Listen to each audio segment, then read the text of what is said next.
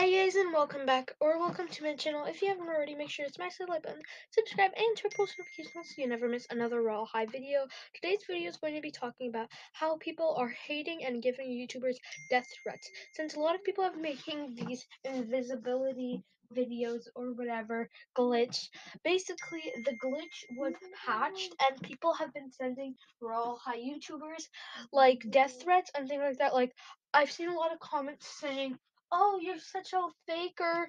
Like, why would you even post? Like, why would you even mm. make this video? It's not even working. You're such a liar and giving them death threats and things. Okay, first off, it's not the Royale High YouTubers' fault that the glitch was patched. They're not a dev and they can't control if the glitch is patched or not, okay? They just, from what they know, they just want to make the video for fun.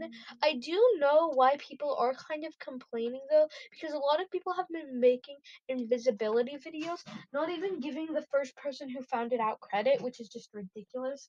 But yeah, but but like even if you were like complain about people not giving credits don't complain about uh, the how the glitch was patched because if the devs patched a glitch it's most likely for a reason they're not going to take something fun away um from the game for no reason. They probably like they probably patched the, glitch because it could cause exploitation or some other thing. So um yeah, because if you know hackers, they will take these simple glitches and use them to their advantage. So the Royale High deaths are probably doing this just to protect the game and not to ruin our happiness. Like their job is to promote Royale High. So I don't know why somebody would literally just want to dis promote a game if that makes sense like it doesn't make it doesn't add up if